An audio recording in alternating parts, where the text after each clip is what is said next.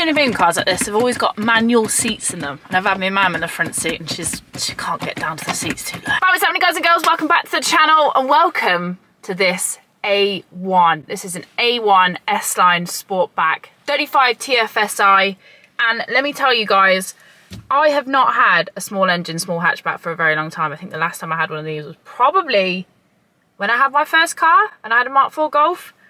But let me tell you something, after switching from the E92 M3 to this, which has very kindly been lent to me for just over the month by Audi, two things have happened. One, practicality. Number two, miles per gallon. I have had the most insane fuel efficiency. It's probably not even that insane. I just got so used to spending so much money on fuel that now filling a tank up for 50 quid and getting 360 miles out of it, that to me that's that's a rub your knee moment. Mm, comparative to the E92, which I was getting mm, maybe 220 miles out of the tank, about 19, 20 miles per gallon. This, on a run, does 50 miles to the gallon. Jesus, I'm starting to sound like my dad. Since when did this all become so exciting to me? And I'll tell you another good thing. Having a small four-door hatch machine like this is entirely practical. Now, I know that we're all thinking that for a daily, I was looking at SUVs, this and that, but you know what? I am seriously thinking that maybe for a daily car, something as practical, incognito, comfortable, and, you know, efficient as this could be a game changer. So a lot has happened since I last uploaded a video to YouTube. It's been three weeks. I know it's been quite a while. But to be honest, after everything that happened with the dog, I kind of checked out a little bit mentally.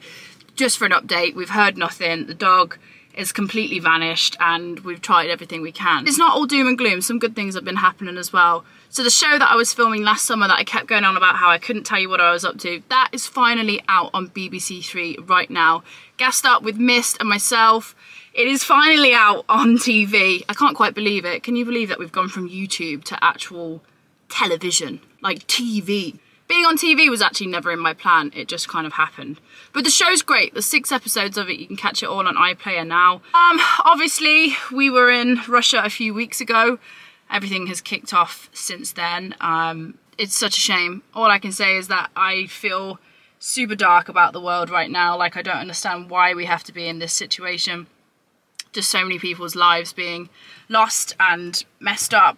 It's just, it's one of the other reasons why I haven't really put a video out. It's like I feel like there's much bigger things at hand right now and people don't need me waffling on about an A1 when there are, you know, much bigger issues going on in the world. But here we are.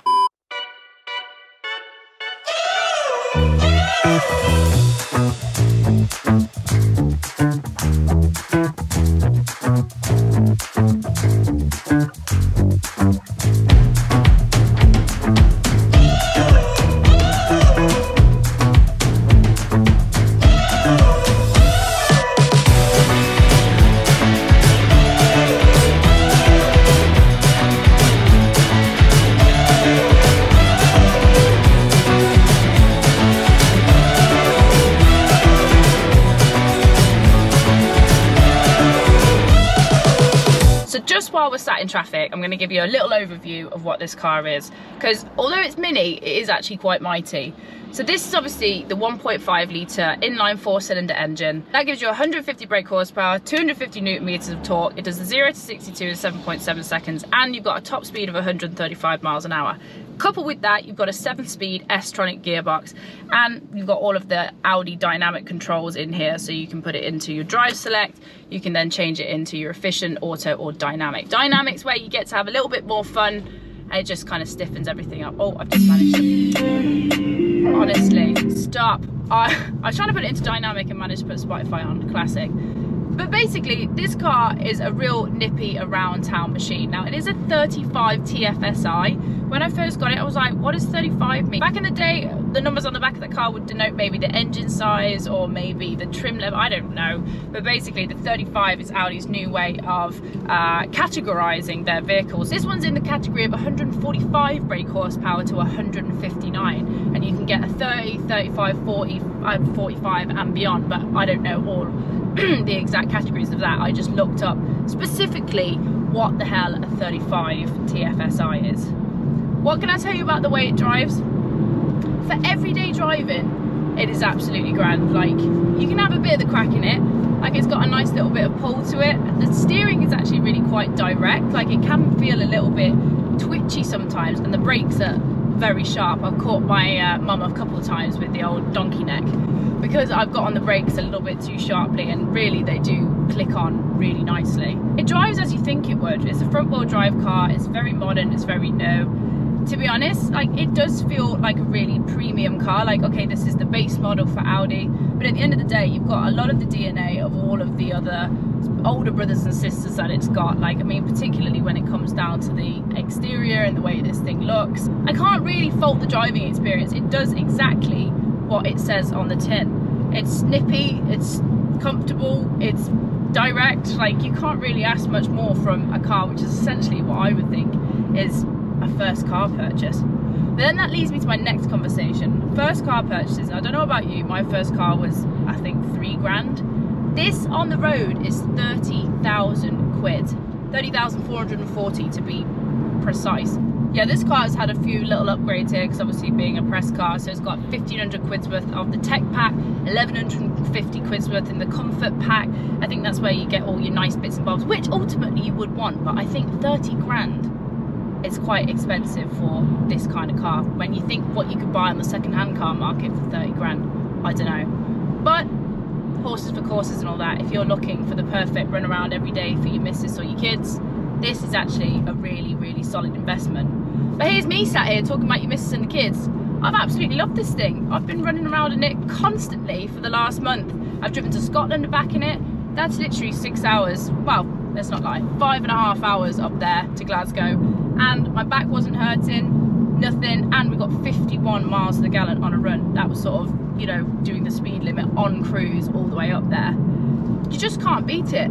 The fact that I'm now getting more than double again what I was getting out of the tank from the E92. Kind of says something to me. Oh, I hope the petrol station's actually open. Is it open? Is it open? Oh, I'm, what is wrong with me? I can't even, I was looking at something in the distance and thinking that there was barriers across. My eyes are getting to me. Geez, lads, you know I'm on the downhill 30,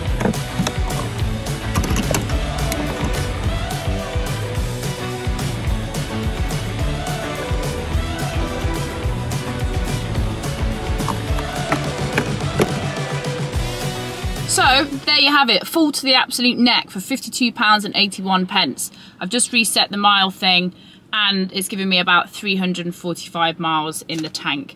And that was at about 30 miles left in the tank when I actually filled it up. 52 quid to tank the thing. That is nuts. You wouldn't even get past a quarter of a tank in the E92. Let's go take it so you can have a look at the outside because I actually think it's quite a good looking car. It's got quite a lot of the Audi, you know, the new style, angular, super sporty looking kind of styling cues there. I mean, you have to admit, for a small hatchback, it is quite a good looking little car. I love the grille, I like the lights, I like the way it's got quite a lot of angular going on here, the hexagonal bits in the grille. And this is obviously the new Sportback version of it as well. So Sportback basically means that the rear of it is kind of a little bit more squidged, a bit more angular. I really like the RSQ3 Sportbacks. It made just the back of the car look a little bit more streamlined this one has actually been upgraded and it's got the Y-spoke 18 inch alloys on it for 750 quid extra. I will say, when I had this car first off, I did have it cleaned before I even made this video, but living in the country now has kind of slightly wrecked that. It's quite interesting having a white car again. I didn't realise how dirty they can get so quickly. Ostensibly, looking at it, it's not a bad little car. To me, it kind of looks like a smaller A3, which I guess it probably is, isn't it? but it's about the size of what feels like my old A3. Either cars have just got bigger or I've got smaller. Well, that's definitely not happened, I know that much. One interesting thing to note is this is actually the S-Line version of this. You can get an S-Line Comp, S-Line Contrast, S-Line Style. Now, the thing about S-Line is when I first had an S-Line car, back when I had the A3 years ago, S-Line used to be the top spec that you could get now when you come in here, it all feels really quite premium, like with the Alcantara and the S-Line embossed here into the leather. The steering wheel as well. Like, I feel like this is the exact same steering wheel that you would get in an S-Line A3 and above. It's all very premium. Like, I love the materials that they've used, but there are a few places where it does let it down. There is some slightly cheaper plastics on the dashboard here. When I had my first car, we used to have a double din Kenwood head unit here, which flipped down and I had a picture of my car on the screen. So I feel like although technology's moved on and now you have this really nice interface with all of the gubbins that you need. Uh, basically, it's got Apple CarPlay, that's all you need. But I feel like now, if only I could just get a picture of my Mark IV my blue BBS CHs on there and I've completed the complete throwback to having my first car all over again. Except this one's just, you know, 10 times the price of it. I guess what I'm trying to say, guys, to be honest, I think that the A1 is a cracking little car. I really like it. Is it quite expensive? Yes, it is. But is it totally practical and completely fuel efficient? Absolutely.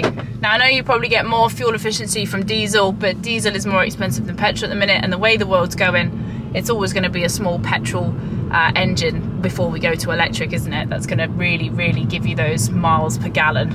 Fair play to Audi for lending me this for the month. It's really shown me what it's like to actually, you know, drive a normal car for five minutes.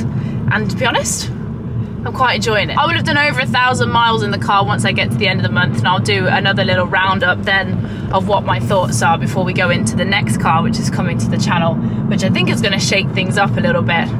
So other than that guys, I hope you enjoyed the video. Make sure you check out Gassed Up on BBC3 iPlayer if you want to see me in action on the telly box.